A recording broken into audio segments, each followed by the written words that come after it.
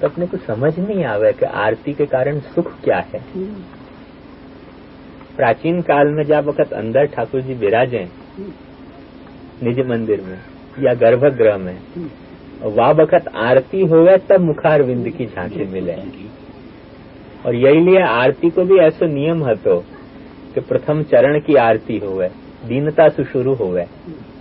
क्योंकि प्रथम जा वक्त दर्शन हुए यद्यपि मन की लालसा तो होगा कि मुखारविंद के दर्शन पहले कर लें तो थोड़ी दीनता से बात आगे बढ़े तो वह में सुख आवे। अपने यहाँ तो शायद ऐसा नहीं है, उल्टो रिवाज है अपने यहाँ। अंग्रेजन में एक रिवाज है कि भोजन करें न तो और सब स्वाद पहले चख लें, मीठो छोड़ दें, जो अंत में चखें। अपने यहाँ तो थोड़ी उतावल हो जाए जो आते ही लड्डू पहले खा जाए। अंग्रेजन में यह बात का नियम है कि कोई भी चीज़ मिठाई उनके यहाँ धरो तो वो पहले नहीं खावे। सब चीज़ खा लेंगे बाकी बाद सबसे छले वो मीठे को खावे। केरल वाले भी ऐसा ही है केरल में? हाँ, केरल में हाँ। तो ऐसा जो है यही लिए जो मुखारविंद के दर्शन की जो मिठास है वो सब कुछ छले आवे। बाकी तो चरणार बिंदु से ही आरती को वारण शुरू हुआ है। तो प्रथम जो आरती के आटा है वो चरण के लिए जाए फिर जानू के लिए जाए फिर उदर के लिए जाए, फिर वक्ष के लिए जाए, तब मुख आवे। ऐसे ही तुरंत मुख नहीं आ जाए। पर एकाएक मुख तक पहुँच जाना भी जो है वो थोड़ी, थोड़ो औद्धत्य है। अधिकार के अनुरूप जो है वो चलना चाहिए, क्योंकि छलांग मारे और कभी फिसल भी तो जाए ना आदमी। इसलिए छलांग मारने के पहले देख लेना चाहिए कि अपन पहुँच सकें, इतनी ऊंचाई है कि नहीं। जो अधिक हो तो शनै शनै जानो। अच्छा है, पहुँचेंगे तो सही ना। छलांग मारने में गिरेंगे, फ़ायदा क्या हो गया या के लिए मुखारविंद को जो माधुर्य है, वो पहले ही ले लोगे तो फिर स्वाद की जो है वो, जो स्वाद की जो उत्तरोत्तर, आस्वादन की जो गति है वह को मज़ा क्या है वो? तो वा दृष्टि से भी जो है, वो चरणार बिंद में थोड़ो दैनिक हो दैनिक के जो रूप है चरणार बिंदु उन पर थोड़ी आरती को वारण कर लो। और उत्तरोत्तर होते होते मुखार बिंद तक पहुंचो तो वह को पूरे आरती वारण को भी कुछ स्वाद है। और ये आरती जो है, ये प्रभु ही ये आरती को निवारण कर सकें। वाके लिए कहें कि आरती हंत, तुम आरती के दूर करने वाले हो। हृदय ताप चिंता च निवारणीया। दृष्टोपकारेण तापो गमिष्यति। अस्माभिर्हृदये स्थापितम न बहिस्तमायाति अतस्तया बहिस्थापनीय। आरती हन तो तुम हो। तुम आरती हमारी दूर करो तो आरती दूर हो सके। बाकी जो प्रभु नहीं आरती दूर करें तो भक्त की आरती कैसे दूर हो सके? क्योंकि भक्त की आरती जो है वो भगवत विषय नहीं आरती है। लौकिक आरती तो है ही नहीं। और लौकिक दृष्टि से आर्थ हो तो पुष्टि भक्त तो भगवान के पास रोने नहीं जाएगा। आर्तो जिज्ञासु अर्थार्थी ज्ञानी च भरतर्षभ में जो आर्त भक्त है, वो पुष्टि भक्त नहीं है। और यदि पुष्टि भक्त के अर्थ में आर्त लेना है वाकु तो भगवत कामनासु, भगवत लालसासु जो आर्त हो गयो है, भगवत लालसासु आर्त ही आर्त भक्त है। ये यहाँ लेना चाहिए। तो ये जो है वो भगवत लालसासु आर्त भक्त है, लौकिक कामना कामनासु आर्त भक्त नहीं है। ख्याल में आया ना और या लिए यह आरती हम क्या है प्रभु को? हृदय ताप चिंता से निवारणीय। दिन भर प्रभु को दर्शन भयो नहीं।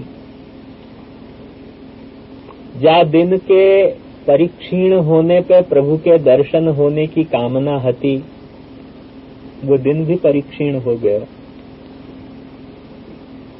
प्रभु के द्वारा आमंत्रित भले नहीं सही आमंत्रण भले नहीं भेजो पर आ गए।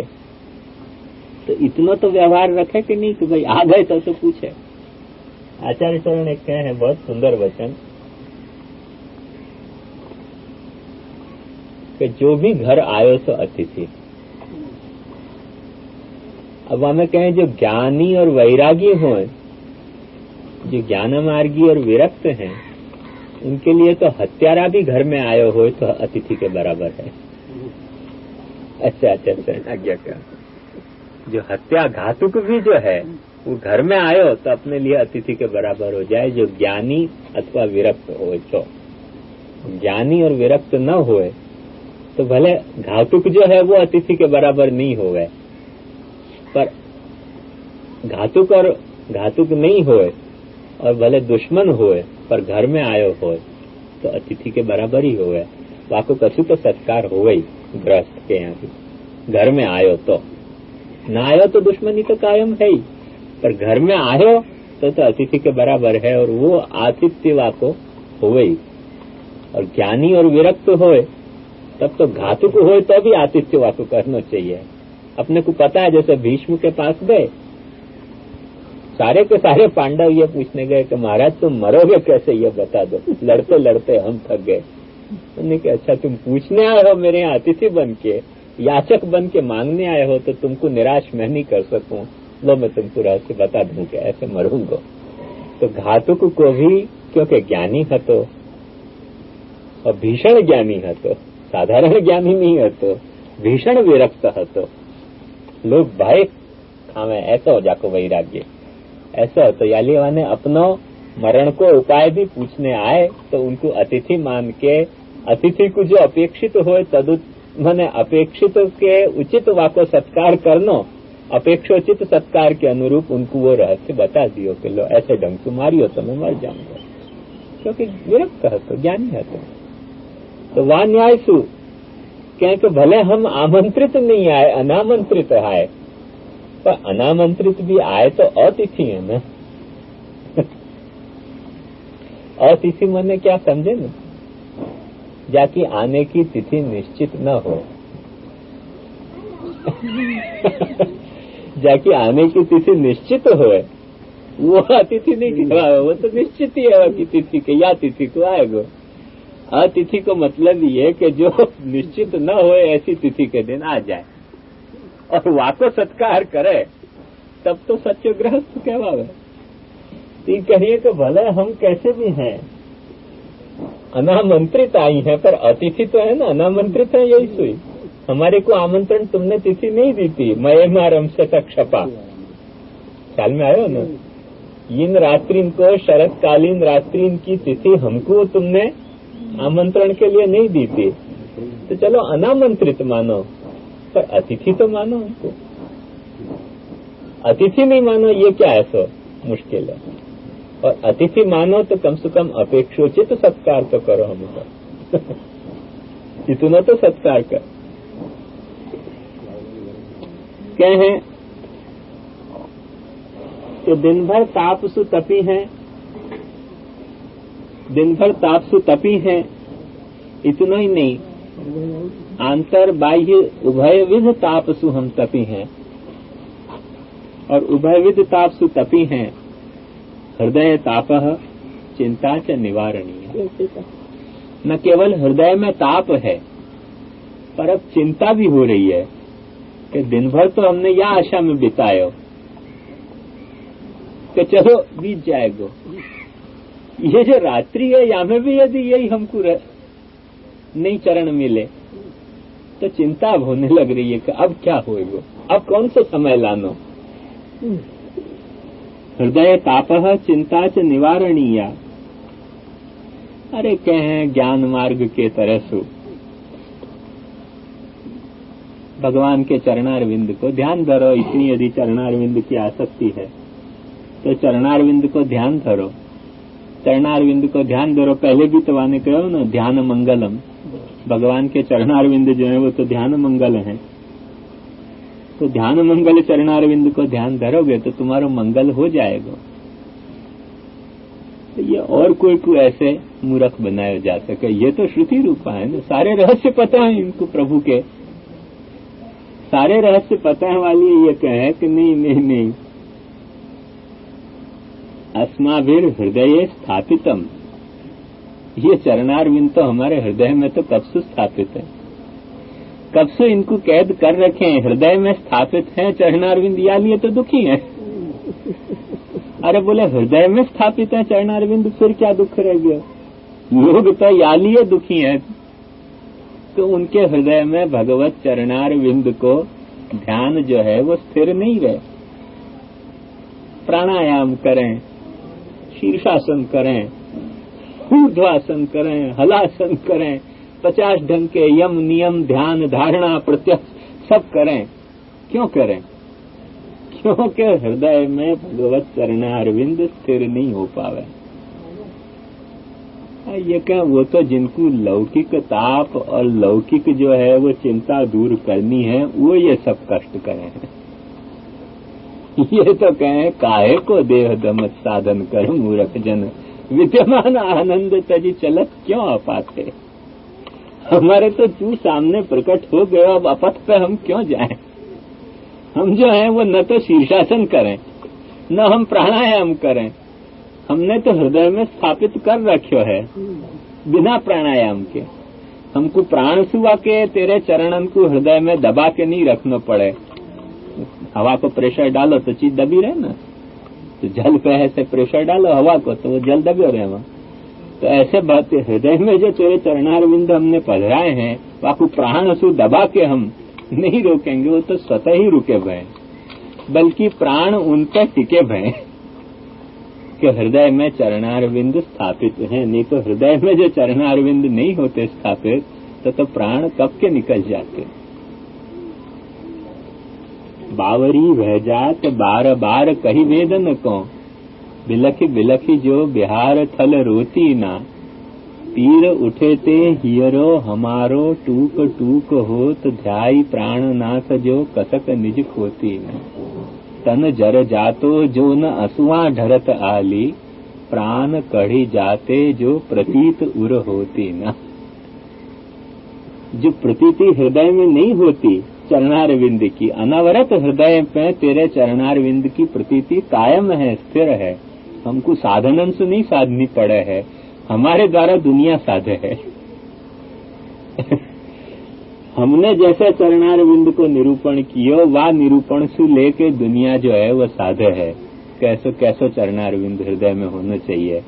हमने बतायो संचिंत भगवत चरणारविंदम। वज्रांकुश ध्वज सरोह लाछनाढ़ उत्तुंग रक्त विलसन नख चक्रवाल। ज्योत्नाभिराहत महद हृदय अंधकारम ये तो हमने गाँव को बताया। अरे बोले, जब दवा बताई तुमने, तब क्यों बीमार? जब दवा जानो, फिर क्यों बीमार? तो एक कारण है कि जो आदमी ज़्यादा दवा खावे ना वाके रोग ज़्यादा कॉम्प्लिकेटेड हो जाए। जो कम दवा खावे वाके रोग जो है, वो कम कॉम्प्लिकेटेड हो एकाध रोग से वाके एकाध दवाई से वाको रोग दूर हो जाए। तो अनवरत जैसे आप दवा खाते रहो। अब जैसे, एलोपैथी में तो ऐसा बहुत है। अब जैसे एक सामान्य बात बताऊँ, मंदाग्नि है। मंदाग्नि है, आयुर्वेद में पूछा तो क्या कहें? थोड़ा अदरक तो रस निचोड़ के और खा लियो करो मंदाग्नि दूर हो जाएगी तो रोज पाव भरी अदरक आप खाते हो तो और वाके बाद जब मंदाग्नि पनपे तब तो अदरक के रस को वो मंदाग्नि निवृत्त नहीं हो क्योंकि उतना तो खा ही रहे हो आप खुराक रोज ही और वाके बाद वो मंदाग्नि थोड़ी कोई आयुर्वेद के या उपाय से दूर होगी वो आपको तो कुछ ज़्यादा पावर वाली चाहिए क्योंकि उतना तो रोज की वाकी खुराक है जितना वैद्यराज बतावे कि भाई, एक चमचा भर के अदरक को रस पी जाइए, उतने एक चमचा जितने अदरक को, एक चमचा भर के रस जितने अदरक से होते है उतना आप रोज अपनी खुराक में रख लो अदरक। वाके बाद भी थोड़े दिन बाद मंदाग्नि हो सके। तो वो मंदाग्नि, वो एक चमचा अदरक के रस से थोड़ी ठीक हो जाएगी। उतनी तो आपको पचे है दवा। तो वो जिनको जिनको दवा पचे है, उनके लिए तो जरा पावरफुल डोज चाहिए ना। उनको ऐसे हल्का डोज तो रोग ठीक नहीं हुए तो हृदय हृदय में पधराने की बात तो हमको पच गई है सबको पधरा रखे वो सब प्रॉब्लम योगीन की है। उनके मन में ये प्रॉब्लम है कि हृदय में कैसे स्थिर करना, क्योंकि उनको हृदय भटक तो फिर यहाँ एकाध अवसर आ जाए तो उनको हृदय भटक जाए साधना से। मैंने प्राणायाम करके, अन्न छोड़ के, जल छोड़ के अनिलाहार करके बड़े बड़े विचित्र विचित्र आसन जमा के बैठे, ध्यान लगा के भगवान के चरण को एक आध अवसर आना चाहिए तो उन्हें वो मन हृदय भटक जाए, अपने मार्ग से व्रत टूट जाए। ऐसी थोड़ी कोई प्रॉब्लम है, सस्ती प्रॉब्लम यहाँ हृदय में पधराने की जो बात होती वो तो इतना डोज तो हमने पचा लिया, इतना तो हमारा खुराक है जासू हम जीवे। इतनो अदरक तो रोज खावे, तब हम जिये अब बीमारी फिर मंदाग्नि, भाई तो अब कैसे करना? अब वैद्यराज परेशान कि भाई जितना डोज लिखे तो एक चमचा अदरक रोज पीनो तो मंदाग्नि दूर हो जाए। तो रोज की खुराक नहीं है इनके। अब कौन सी दवाई बतानी? तो कहें कि हृदय ताप, जो हमने अस्माभिर हृदय स्थापित हृदय में तो हमने स्थापित कर ही रखे है भगवत चरणारविंद।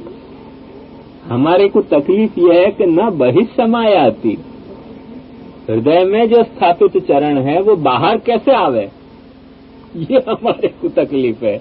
बाहर आ जाए तो हमारा रोग दूर हो जाए। बाहर नहीं आ रहे या के लिए हमको आरती हो रही है। बाहर आ जाए, हृदय में पधराए हुए चरण तो हमारा जो है, वो आधी दूर, हमारी आरती जो है, वो दूर। पर बाहर नहीं आ रहे है, ये हमको तकलीफ़ है। अब तू चाहे तो हमारे हृदय में जो चरण पधराए रखे हमने वह तू चाहे तो बाहर हमारे को पधराए तो इतना तो हमारी जो है वो मांग है ज़्यादा कुछ मांग नहीं है। कह हृदय ताप है चिंता से निवारणीया दृष्टोपकारेण वो तापो गमिष्यति। ये बड़ा सुंदर पद है अंशु हाँ, भाई ध्यान दीजिए।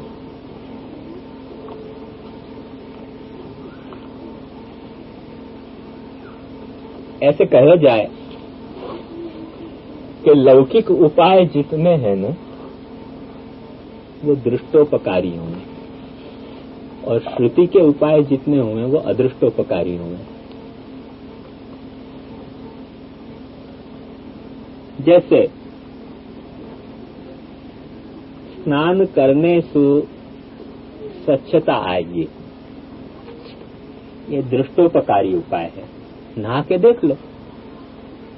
स्वच्छ जल से स्नान करो तो शरीर जो है वो स्वच्छ हो जाए। शरीर की जो स्वच्छता है, ये दिखलाई देने वालों, अनुभव में आने वालों जल के द्वारा किए जाते उपकार है। पर शरीर शुद्ध हो जाएगा, ये दृष्टोपकार नहीं है। जैसे हॉस्पिटल बांबणिया हमको बता रहे थे एक बात किशनगढ़ में के वाके साथ एक क्लासमेट હતો ये भी गांधीवादी बामणिया भी वो भी गांधीवादी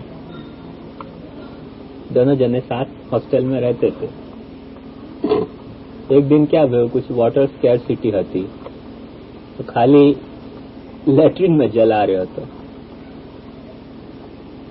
ये હતો ગાંધીવાદી પ્લસ બ્રાહ્મણ હતો वो गांधीवादी प्लस हरिजन है तो वो आने के अच्छा जल नहीं आ रहे तो लेटरिन में से जल लेके नहा लेंगे बामणिया गांधीवादी तो पक्को और ब्राह्मण है तो यानी कि यार लेटरिन के जल से तो हम नहीं नहा सके बोले शरीर तो साफ करना है कि शरीर साफ़ करना कि कुछ करना भाई। हम तो लेटरिन में से जल लेके नहा नहीं सके। तो वहाँ नहा लिया। क्योंकि दृष्टोपकार में वाकी बुद्धि है ना। शरीर को साफ़ करना इतनी ही बुद्धि है। शुद्ध करने की बुद्धि नहीं है वाकी। या की बुद्धि? शास्त्र के आधार पर, क्योंकि ब्राह्मण वंश में है। गांधीवादी भयो तो का भयो? वो संस्कार तो मन पे सुगए नहीं, ब्राह्मणत्व के। ब्राह्मणत्व के संस्कार मन पे सुगए नहीं। या के लिए वाकु शुद्धि को विचार है, मन अदृष्टोपकार को विचार है। और अदृष्टोपकार को विचार है, या सु वो यो कह के नहीं भाई, जैसे स्वच्छ जल सु शरीर स्वच्छ हो गए ऐसे शुद्ध जल सु ही शुद्ध हो सके। अशुद्ध जल सु शुद्ध नहीं हो सके शरीर। अशुद्ध जल भी स्वच्छ तो हो सके स्वच्छता एक अलग चीज़ है, जैसे हॉस्पिटल अपने यहाँ। स्वच्छ हो सके, पर अपने हॉस्पिटल को शुद्ध नहीं मानी जाए। तो स्वच्छता एक दूसरी चीज़ है, शुद्धता एक दूसरी चीज़ है। कुछ लोग क्या समझे कि शुद्धता मने स्वच्छता स्वच्छता मने शुद्धता? ऐसे नहीं। दृष्टोपकार एक अलग चीज़ है, अदृष्टोपकार एक अलग चीज़ है। पर ये जो अदृष्टोपकार है मैंने भगवान को अपने हृदय में पधराने से। सारे पाप निवृत्त भगवान के चरण को हृदय में स्थिर करने से सारे पाप दूर हो जाएँगे। अरे पाप ही नहीं दिखे दुनिया में तो पाप की निवृत्ति कैसे दिखेगी? सारे कष्ट, सारे क्लेश दूर हो जाएँगे, पर पाप दिखते हो। कोई के माथे पे लिखे हुए पापी के माथे पे कि पापी है? कुछ नहीं। न कोई पुण्यात्मा के माथे पे पुण्य लिखे रहे, न कोई पापी के माथे पे पाप लिखे रहे, सबके चेहरा तो एक जैसे ही है। तो पाप और पुण्य, ये तो अदृष्ट है। दिखलाई नहीं दे ऐसी वस्तु है। तो इनके निवृत्ति या इनको जो संचय है, उपचय है, वो भी नहीं दिखलाई दे। तो अदृष्टोपकार जो है, वो दिखलाई नहीं दे। भगवान के चरण को हृदय में ध्यान धरने से पाप निवृत्त हो जाएँगे। कहा दिखलाई दे? कि निवृत्त भय के नहीं भय अपन को इतना दिखलाई दे कि थोड़ी देर ध्यान धरे हृदय में प्रभु के चरण को। तो हृदय में चरण को ध्यान धरे, उतना तो दिखलाई दे, पर वासु पाप, निवृत्त भय, ये तो दिखलाई नहीं दे। तो चरण को हृदय में धरने से जो पाप, ताप, क्लेश, निवृत्त हुए हैं, वो सब अदृष्टोपकार है। और ऐसे अदृष्टोपकार को पचा के बैठी हुई इनके रोज को खुराक है। ख्याल में आया ना? यानी ये कहें कि अब यासु अदृष्टोपकार तो गाँव को हम बतावे। तो कैसे कैसे काम करने सु, कैसे नहाने सु ऐसे अदृष्टोपकार शुद्धि को हो जाए? कैसे संध्या करने से अदृष्टोपकार मन वाणी को हो जाए? कैसे जो है वो यज्ञ करने से क्या अदृष्टोपकार हो जाए जीव को? ये सारे अदृष्टोपकार तो गाँव को हम बताने वाले हैं। अब ये तो हमको मत बता। हमको तो अब वाकई ज़रूरत नहीं है। हमको वासु ऊपर जो है, अब आवश्यकता है। कि हमको तो दृष्टोपकार तू बता कैसे क्या कर रहे हो? इतना तो हमको पता है तो ये अकेले कह रहे हैं कि दृष्टोपकार नहीं, वो तापो जो अदृष्ट को वो तो हमको पता है सब। कैसे कैसे अदृष्टोपकार हो सके वो सब हम जाने। अस्माभिर हृदय स्थापितम, और या लिए हमने तेरो चरण हृदय में स्थापित कियो। पर वो हृदय में स्थापित कियो चरण भी जो है वो बाहर नहीं आवे है। यासु अब हमको ताप और चिंता हो रही है।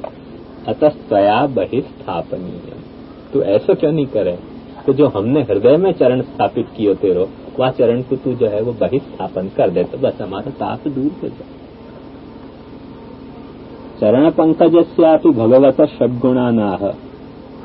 अब चरण के स्थापन की इतनी लालसा है तो चरण को थोड़ा कछु महात्म्य बताना चाहिए।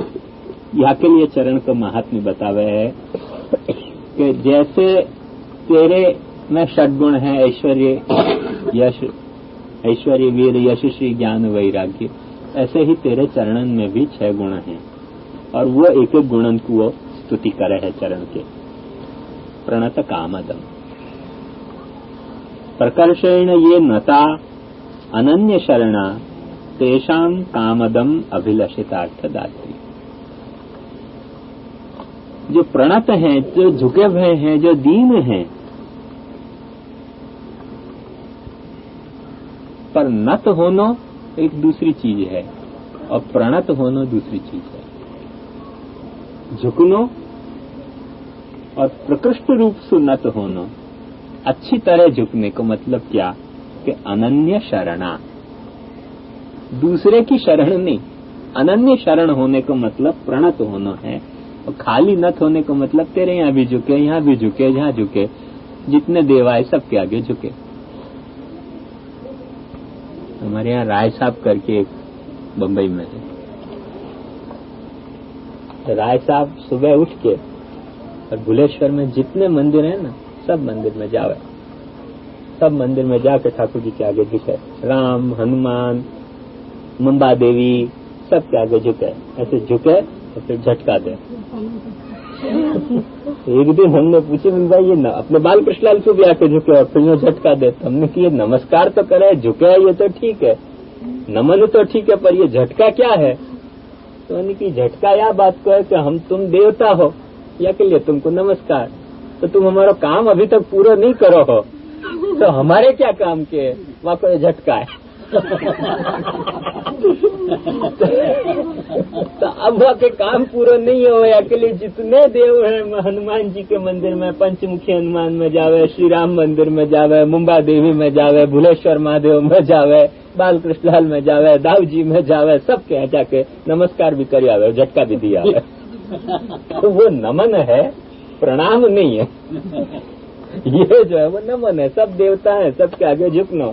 पर वहाँ झुकने में एक झटका रहे भयो है। वो झटका के तुम करते हो तो तुमको नहीं तो दूसरा देवता तैयार है वहाँ आगे भी झुकने तैयार है।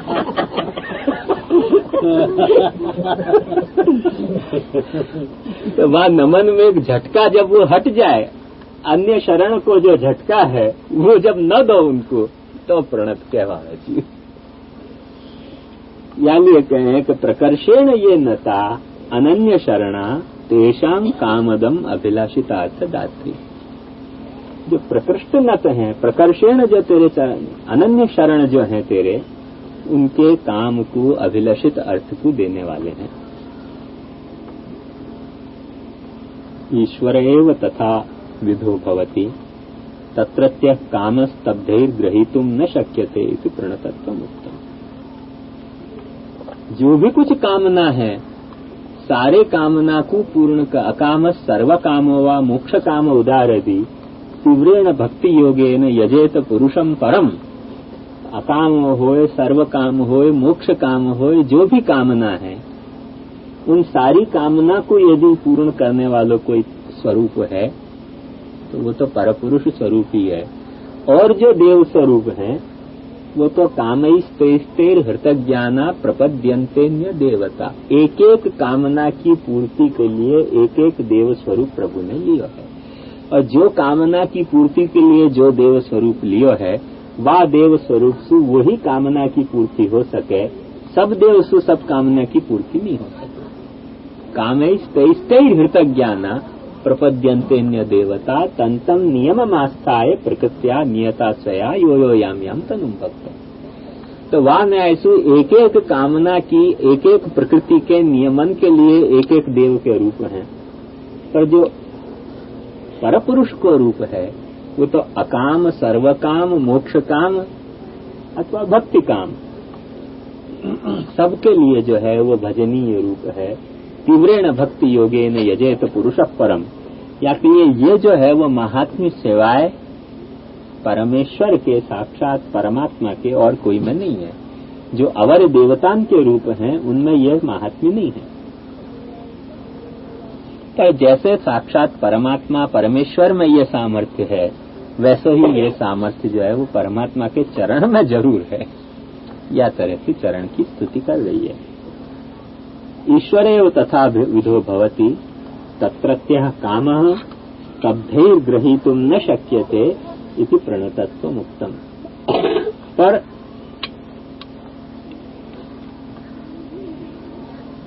ईश्वर जो तुमको देना चाहे है, तुम्हारे मन में जो काम है, वो तो ठीक है, तुम मांगोगे। तो ईश्वर तुमको जो देना चाह रहे हो है वो तुम स्तब्ध होके नहीं मान सको। स्तब्ध माने क्या? जैसे लहर आवे और आदमी यूँ खड़ो हो जाए वह तो नाम स्तब्धता तो स्तब्ध हो जाओ ईश्वर के आगे। गीता में आवे ना? आसुरी संपत्ति में स्तब्धता को वर्णन आवे है। ईश्वरो हम हम जी आवे ना स्तब्ध? बोलो तो श्लोक। आढ़्यो भी जनवान अस्ति कोन्योस्मि सदस्य यक्षे दास्य नित्य ज्ञान का अनेक चित्त विभ्रांता मोह जाल समावृता प्रसत्ता काम भोगेशु पतंति नरके आत्मसंभाविता स्तब्ध। धनमान। धनमान तो। ईश्वर से जा वक्त कोई माने अपने काम जो है वो तो कोई तरह के भी अकाम सर्व काम मोक्ष काम भक्ति काम सारे काम जो है वो ईश्वर सु जो है, वो पूर्ण हो सके। तो तुम क्या चाह रहे हो? और ईश्वर तुमको क्या देना चाह रहे हो? है बाकी कभी तुलना करी तुमने? बाकी तुलना करो तो तुमको मांगना आएगो। नहीं तो मांगना भी नहीं आएगो। मांगने में भी आदमी गड़बड़ा जाएगा। जा वक्त ध्रुव प्रकट भय। ध्रुव के सामने। ध्रुव ने यही कही। अब मैं क्या मांगू?